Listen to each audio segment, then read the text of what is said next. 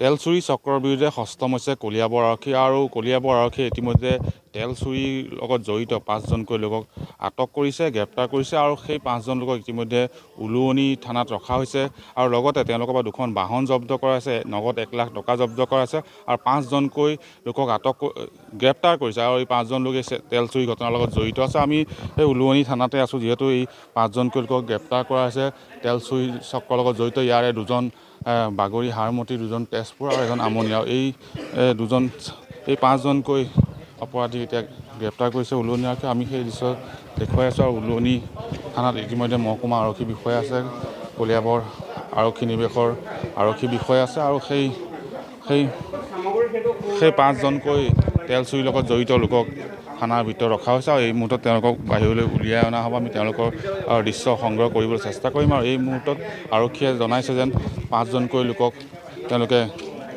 গ্ৰেপ্তাৰ কৰিছে।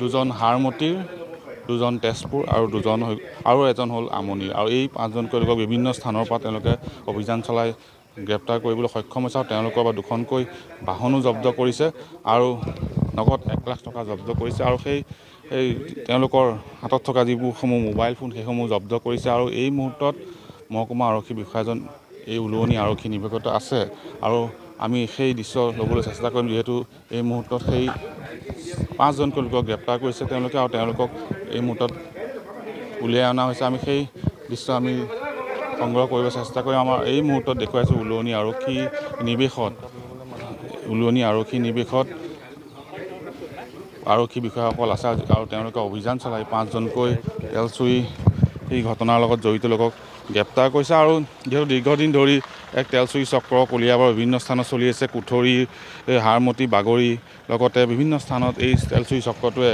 বিভিন্ন টেংকাৰৰ পৰা তেল চুৰি কৰা ঘটনা পোহৰলৈ আহিছে কিন্তু আৰক্ষীয়ে অভিযান চলাই আছিল আৰু শেহতীয়াকৈ আৰক্ষীৰ অভিযানত পাঁচজনকৈ লোক গ্ৰেপ্তাৰ হৈছে আৰু তেওঁলোকৰ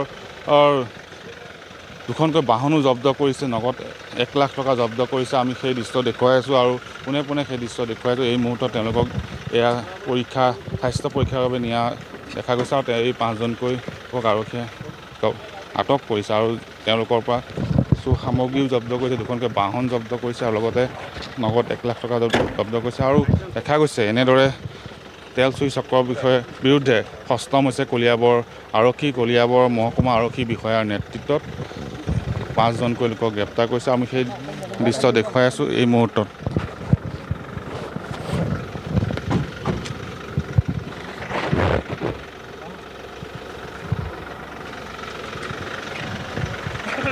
আমি নিশ্চয়কৈ ইয়াত যিহেতু মহকুমা আৰক্ষী বিষয়া আছে তেওঁৰ পৰা কিছু মন্তব্য ল'বলৈ চেষ্টা কৰিম।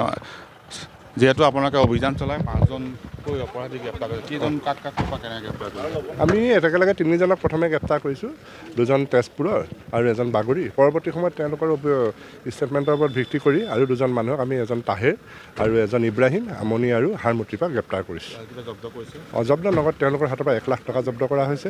এখন চুইফ্ট গাড়ী এখন কিয়া গাড়ী জব্দ কৰা হৈছে। অভিযান চলিব অভিযান চলিব এই বিষয়ত আৰু অভিযান চলি থাকিব আৰু বহুত অভিযুক্ত ইতিমধ্যে গ্ৰেপ্তাৰ কৰিবলৈ বাকী আছে।